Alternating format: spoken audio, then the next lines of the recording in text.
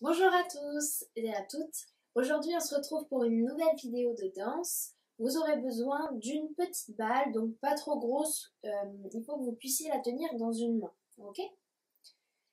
On va commencer tout de suite. Je m'approche un peu pour que vous voyez mieux. Euh, on va mettre, on va se cacher le visage avec les mains, la balle dans une des mains, et on va écarter les, les mains comme si c'était un élastique, ça s'écarte de plus en plus, de plus en plus, de plus en plus. Et nous, pendant ce temps-là, on fait les gros yeux, les plus gros yeux possibles, et nos deux mains reviennent nous cacher comme si on lâche un élastique. et on fait la même chose avec la balle sur le côté, on regarde notre balle, on la suit du regard, elle s'écarte, elle s'écarte, et elle revient. On change la balle de main, et à nouveau de l'autre côté, et elle revient vers le haut et elle revient. Et comme on est debout, normalement, je ne l'ai pas précisé, on suivra la balle qui descendra lentement le long du corps en passant sur mon sternum, devant mon nombril, devant mon bassin, sur mes cuisses, mes genoux, pour arriver les fesses sur les talons et on recommencera tout au sol. C'est parti en musique. Hey Les gros yeux?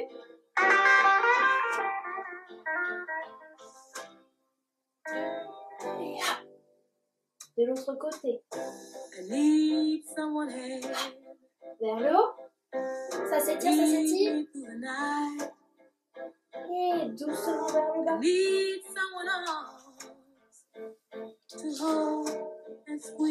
on se recache. Et les gros yeux. Sur le côté.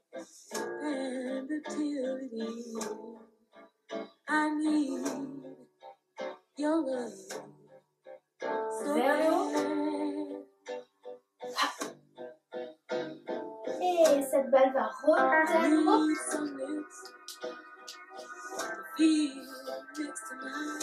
Et elle se cache.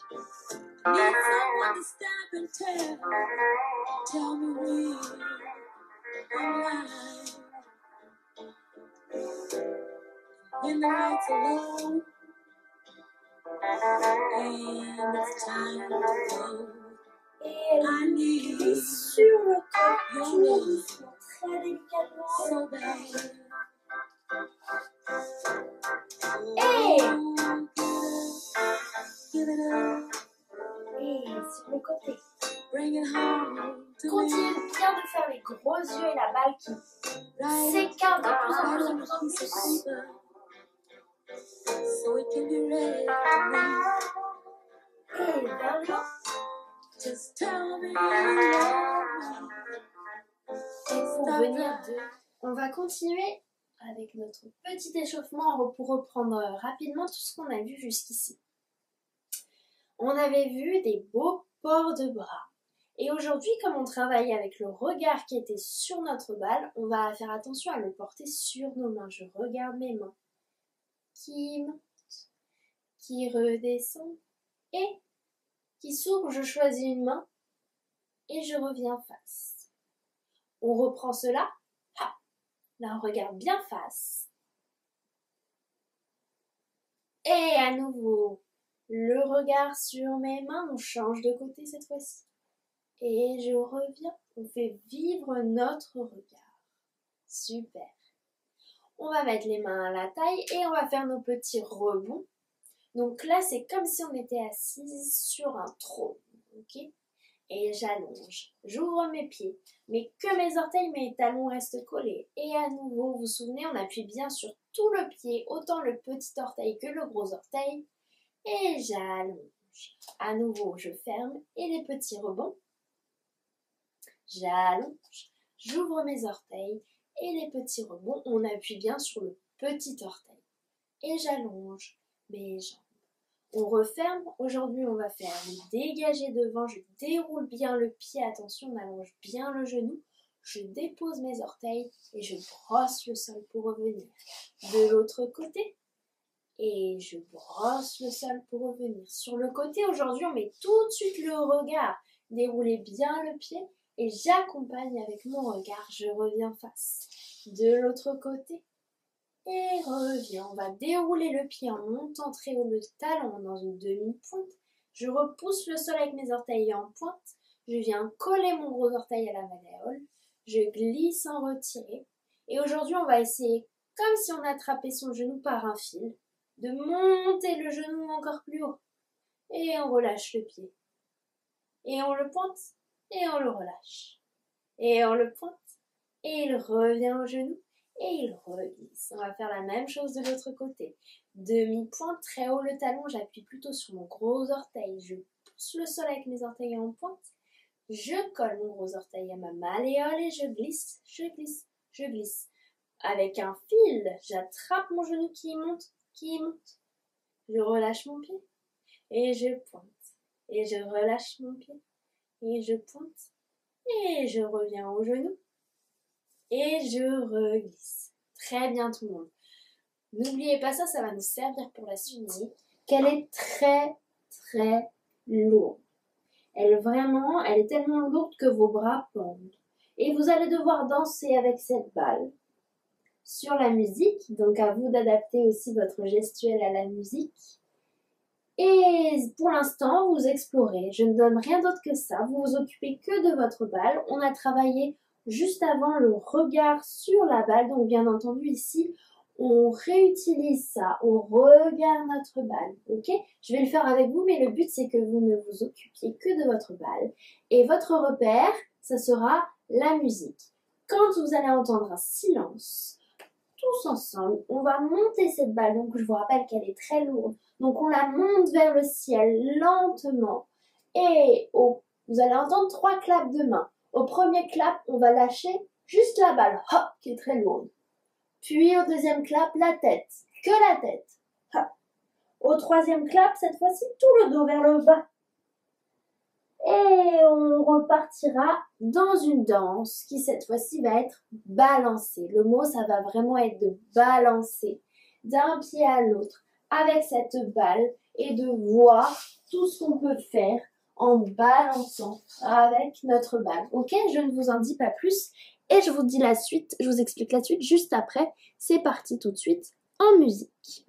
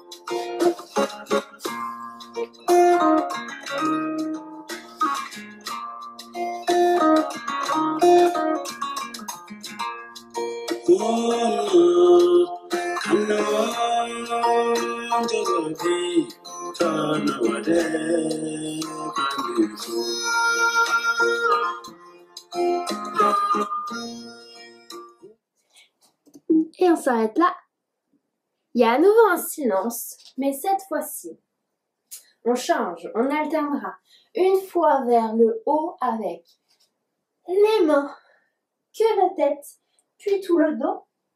Et on repart dans une danse balancée. Et au deuxième silence, la fois d'après, on mettra cette balle toujours vers le haut, mais on fera une forme avec les bras et on essaiera de monter un genou le plus haut possible. Ok?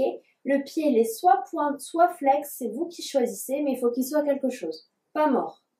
Ok Et à la reprise de la musique, enfin pour les claps, pardon, il y aura un bras, deux bras, puis le pied qui tombe. Ok Mais vraiment, euh, une branche qui tombe, quoi. On laisse, on lâche tout vers le bas, mais nous, on tient notre équilibre. Ça lâche, ça lâche, et le pied. Et on repart dans notre danse balancée. Et le silence d'après, ça sera notre balle vers le haut. Ok, c'est parti. On en était au silence. Et on prend notre forme.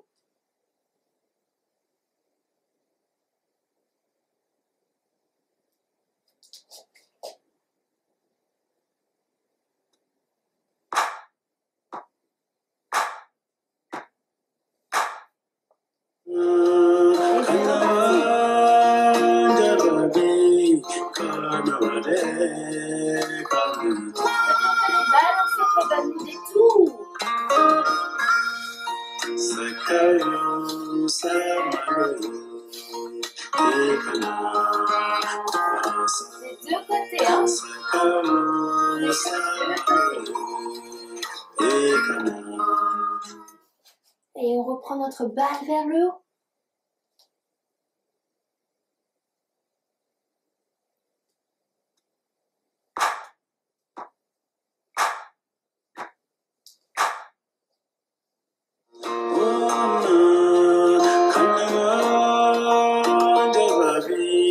Et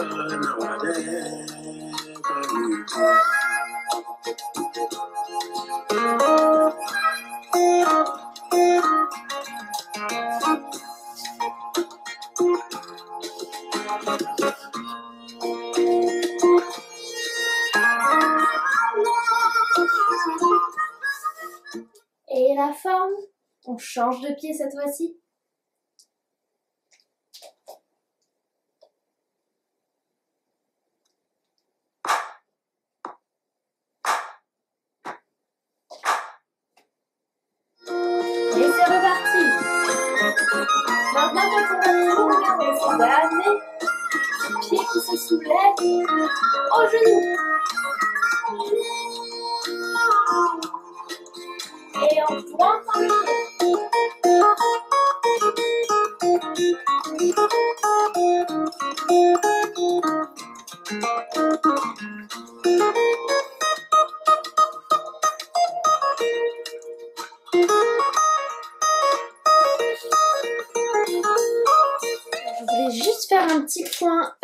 anatomique avec Oscar que voici et je vais vous le montrer de dos aujourd'hui puisque on a travaillé euh, et on a dansé essentiellement aujourd'hui avec nos cervicales. Donc les cervicales, ce sont les premières vertèbres de la colonne vertébrale qui partent de la tête avec l'occiput, le petit trou qu'on sent à l'arrière du crâne, et qui descendent toutes les vertèbres jusqu'au sacrum avec le coccyx qui fait mal quand on tombe sur les fesses. Donc les vertèbres, ce sont euh, les premières, les vertèbres, les cervicales, ce sont les premières vertèbres qui sont au niveau de notre cou. D'accord? Donc dans l'atelier, lorsque je vous ai demandé de relâcher d'abord la tête, ce sont ces cervicales-là, euh, ces vertèbres-là, qui s'appellent les cervicales, vous l'aurez compris, euh, qui se relâchent à bien distinguer avec relâcher tout le dos. Là, ce sont vraiment toutes les vertèbres qu'on relâche en avant. On relâche tous les muscles du dos, ce qui fait que bah, on s'affaisse vers le bas. Alors que là, on a bien distingué d'abord la tête, donc ces vertèbres-là, puis tout le dos. Ok, donc veillez bien à faire la différence entre les deux à la maison à la prochaine avec Oscar. On va passer à la danse. On est parti pour la danse. On reprend sa balle et on va écarter un petit peu les pieds, mais pas trop. Euh, largeur de notre bassin à peu près et on va venir mettre la balle tout contre son sternum. Aujourd'hui on danse sur du blues. Euh, vous allez comprendre un petit peu euh, après ce que c'est le blues, mais vous connaissez, vous avez sûrement déjà entendu l'expression avoir le blues. Voilà, on est un peu nostalgique, on est un peu triste c'est voilà, comme si on avait envie d'un petit chocolat chaud et, d'un câlin quoi. Et donc on va faire un câlin à cette balle qu'on va serrer tout contre notre cœur. Donc moi je la place sur mon sternum, vous savez où c'est maintenant. Et on va balancer d'un côté et de l'autre. Et on va bien relâcher la tête. Pour vous, on va balancer quatre fois de face. Un, deux, 3, 4, puis 4 fois en tournant sur moi-même. Et bien entendu, en balançant toujours d'un pied à l'autre. On est obligé, hein. ok? 4 fois de face, 4 fois en tournant. Puis, 4 fois en ouvrant les pieds dans une grande position et en laissant tomber mes bras et ma tête qui est bien relâchée. Mon dos pas complètement, un petit peu mais pas complètement. Et on suit sa balle du regard. Pour 1, 2, 3, 4 en tournant. 1, 2, 3, 4. Pour revenir face. Attention, ça va être un peu rapide du coup.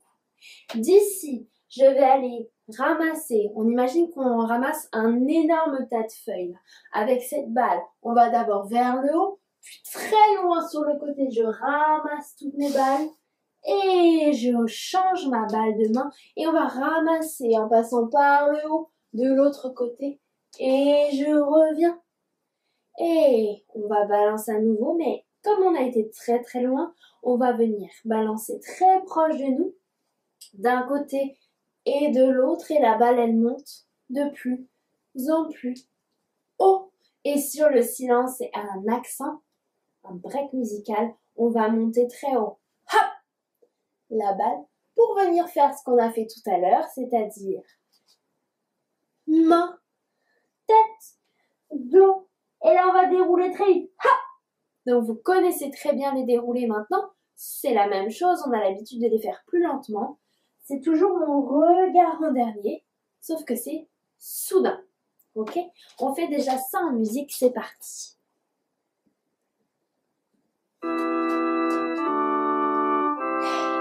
C'est parti.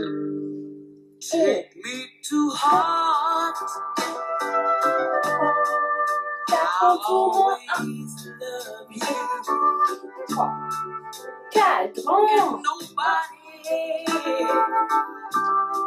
Attends, ah.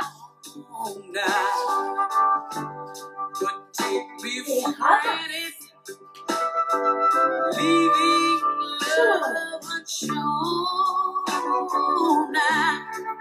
Hey, Make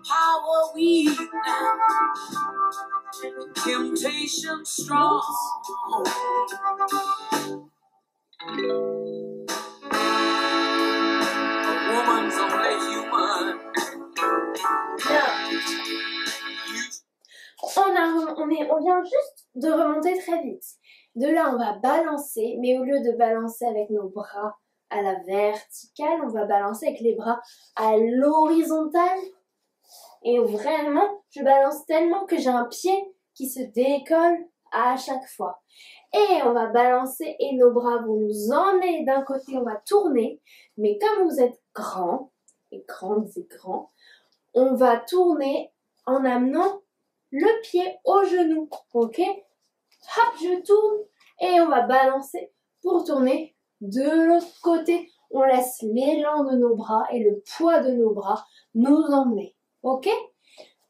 Donc on a tourné d'un côté de l'autre et là, accent.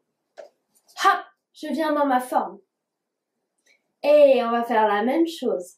Sauf qu'on va faire main qui tombe en même temps cette fois-ci. Ma main qui tombe sur mon genou. Qui va faire tomber mon genou, puis ma tête, puis tout mon dos. Et on revient à nouveau face. Et on termine par une danse libre. Ok? Donc, j'ai balancé, j'ai tourné. Pardon, j'ai balancé. J'ai tourné de l'autre côté pour accent venir dans ma forme du pied que vous préférez. C'est pas très important pour là. Le pied il peut mort, mais on va bien tomber ensemble. Prochain accent. Hop. Donc je veux vraiment voir la main qui tombe sur le genou. Le pied qui tombe, puis ma tête, puis mon dos. Pour à nouveau dérouler très vite. Hop. Allez, c'est parti. Cette deuxième, euh, cette deuxième partie en musique.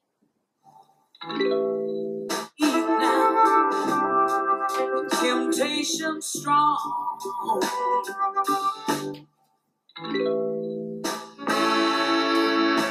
Woman's only human. Et balance. You should understand. De l'autre côté. She's hey. not just a plaything. She's flesh and blood. Just like a man. If you wanna do right, home base woman. Et la danse libre. You gotta be a, a do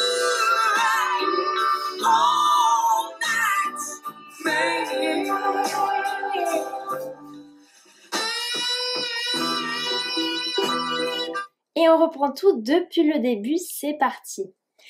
Donc à la maison, regardez bien votre balle, relâchez vraiment la tête et les bras. Là, on travaille vraiment sur ça et ça va nous servir dans toutes les danses. Donc n'hésitez pas à bien relâcher aujourd'hui. La tête, les bras, sans lâcher la balle. C'est la seule chose qu'on tient aujourd'hui. C'est parti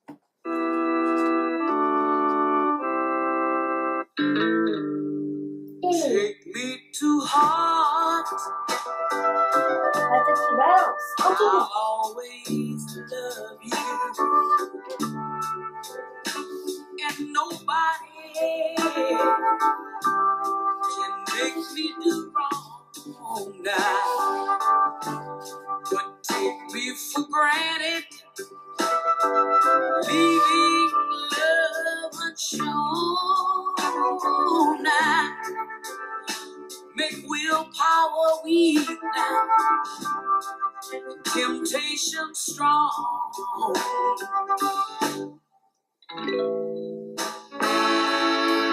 A woman's only human. You should understand. She's not just a plaything, she's flesh and blood, just like her man. If you wanna do right.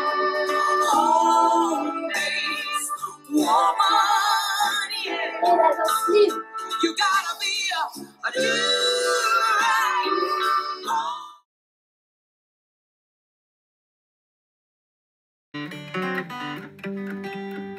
Le petit toupie a découvert le blues et ses mesures qui vont souvent par douze. Le petit toupie a réussi sa vie là-bas aux États-Unis. De Memphis à Chicago, il a joué tant de morceaux que son public l'a surnommé le petit prince surdoué. Il était une fois, il y a très très longtemps, ce temps où il n'y avait pas de téléphone dans les maisons, ni même de télévision, car elle n'existait pas. Un temps où il y avait très peu de voitures et où tout le monde marchait ou s'est déplacé à cheval. Un temps où Toupie, un petit garçon noir américain de 10 ans, nous emmenait dans ses aventures extraordinaires.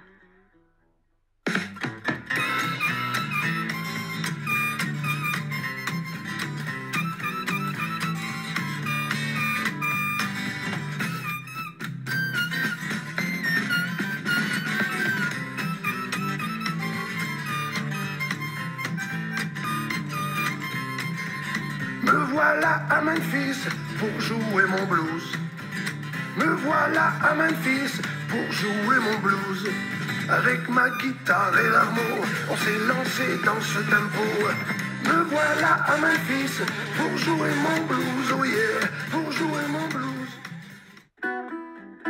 Toupie alla à Saint-Louis, puis Chicago, où il rencontra de célèbres artistes et tous l'adoptèrent. Il fallait maintenant lui donner quelques secrets pour devenir un grand bluesman. Et petit, tu joues bien et tu as un don, mais il te faut connaître bien d'autres secrets pour que tu sois encore meilleur. Peut-être qu'un jour, tu seras le roi du blues.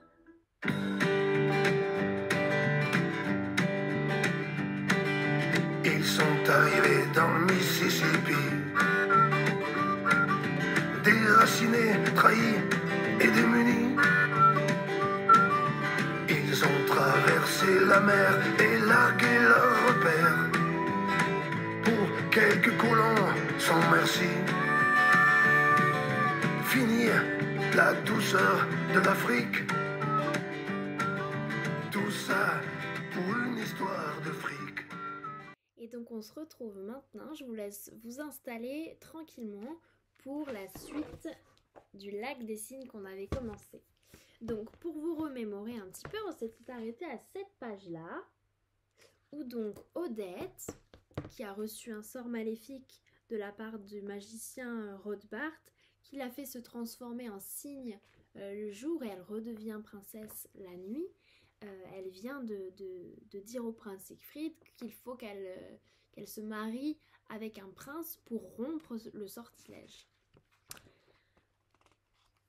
Page suivante. Le jour commençait à se lever. Les jeunes filles retrouvèrent soudain leur corps de cygne et prirent leur envol pour rejoindre le repère de leur maître Rothbart. Odette, elle, luttait de toutes ses forces pour garder sa forme humaine et rester près de son bien-aimé. C'est alors que le magicien apparut. Il ressemblait à un immense oiseau de proie, avec ses ailes sombres et son regard et son profil inquiétant. Tu ne peux échapper à l'enchantement, cria-t-il à Odette. Signe, tu aides par ma volonté, et signe, tu resteras pour l'éternité. Siegfried se jeta contre lui, mais d'un coup violent d'aile, Rothbart l'envoya rouler au loin.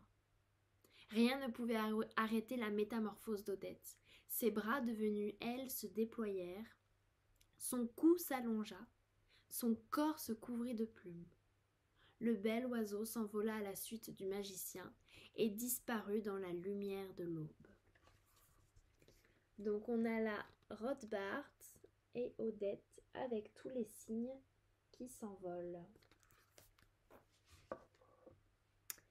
Page suivante.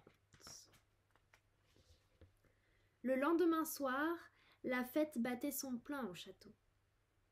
Des invités venus de loin remplissaient la vaste salle de bal et dansaient joyeusement au son de la musique. Seul Siegfried semblait préoccupé. Les six jeunes princesses choisies par la reine firent leur entrée et se présentèrent. Mais il leur adressa à peine la parole. Eh bien, mon fils, lui dit sa mère, ne sont-elles pas aimables? Avez-vous fait votre choix? Hélas, ma mère, je regrette de devoir vous désobéir, mais je n'épouserai aucune d'elles. La reine n'eut pas le temps de protester, car les trompettes se mirent à sonner, annonçant de nouveaux invités. Qui donc pouvait arriver si tard? Je vous montre la photo, les images. Donc on est au château avec la reine, toutes les prétendantes qui font la queue ici, et Siegfried qui a l'air préoccupé quand même. Un homme fit son entrée. Il était tout de noir vêtu, et sur ses épaules flottait une large cape. Siegfried frissonna en le voyant. Cette silhouette sombre lui rappelait celle de Rothbart le magicien. Mais voici qu'il aperçut derrière le nouveau venu une femme au geste gracieux d'oiseau. Elle ressemblait de façon troublante à Odette, à un détail près. Sa robe n'avait pas la blancheur du cygne, mais était au contraire d'un noir de jet. Prince, Permettez-moi de vous présenter la princesse Odile, ma protégée, dit l'homme en noir. Voyez comme elle est belle. Odile se mit alors à danser, et Siegfried la regardait, fasciné. Pas de doute, c'était la jeune fille qu'il avait rencontrée au bord du lac, même si elle portait ce soir une robe noire, et paraissait bien plus sûre d'elle. Il ne vit pas qu'à la fenêtre se tenait la blanche silhouette d'Odette, qui tentait désespérément d'entrer. Eh bien, mon cher prince, demanda l'homme en noir, ne pensez-vous pas que ma protégée est digne de devenir votre femme? Siegfried, sous le charme du cygne noir, répondit sans hésiter. Oui, oui, je l'épouserai. Mère, donnez-moi votre accord, je vous en prie, je ne veux aucune autre femme qu'elle.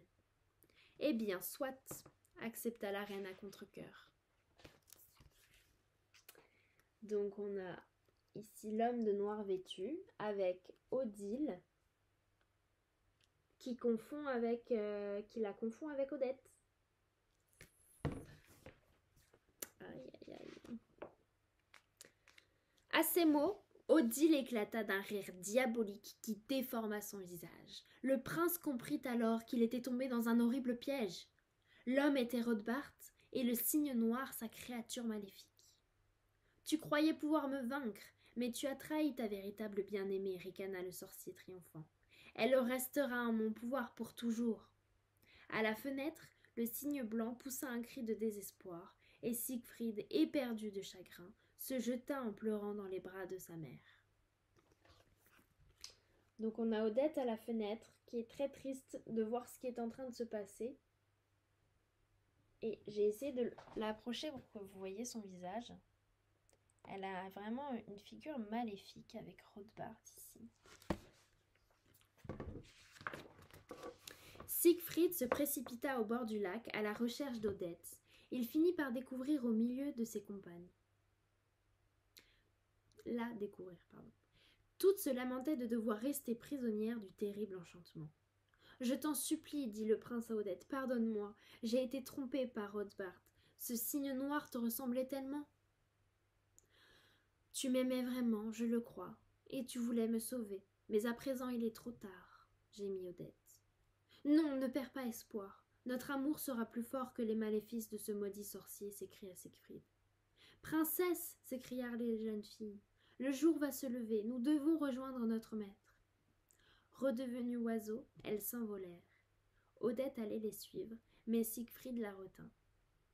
Elle s'agrippa à lui pour résister au sortilège qui l'attirait vers ses compagnes. Donc on est au bord du lac.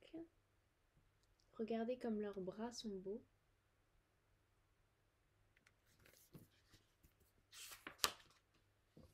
Rothbard, furieux, surgit alors, et un combat terrible s'engagea entre lui et Siegfried. La brume envahissait le lac, des éclairs déchiraient le ciel. Odette, impuissante, observait avec angoisse Siegfried, dont les forces s'épuisaient.